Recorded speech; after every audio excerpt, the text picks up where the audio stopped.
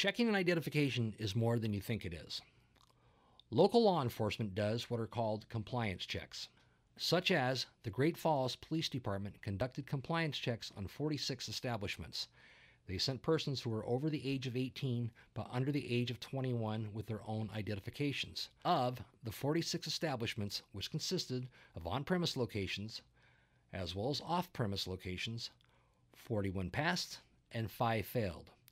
One business didn't ask for ID, while four locations asked for ID and still made the sale after seeing the underage buyer's identification.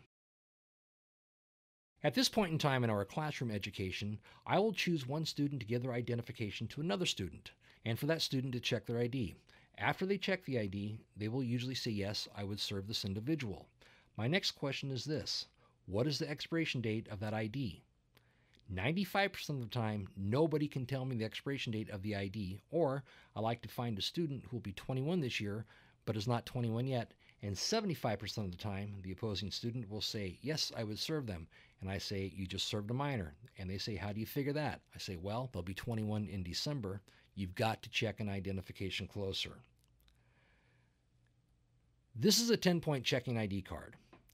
There are 10 things I'm going to ask you to look at on an ID. Now you might be thinking, 10 things on an ID? I don't have time to look at 10 things on an ID. Trust me, you don't have time not to.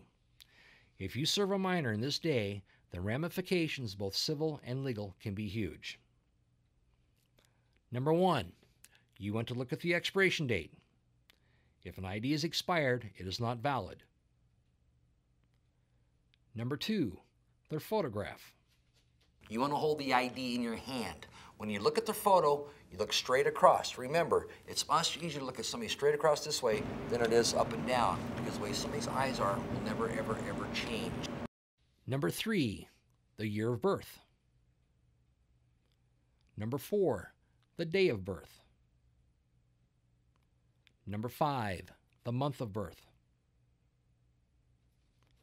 Number six, does the age match up? Is the individual where you're questioning if they are 21 years of age or older hand you an ID saying they are 27 years of age or older, you might ask for another piece of identification.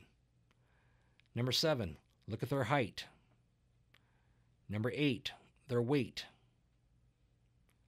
Number nine, their gender, male or female. Just trust me.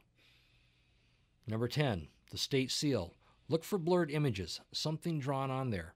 Is it the correct state seal? A partial state seal. I remember one time looking at a young man's ID and I realized the state seal was a hologram that said an official seal of authenticity. Very clever.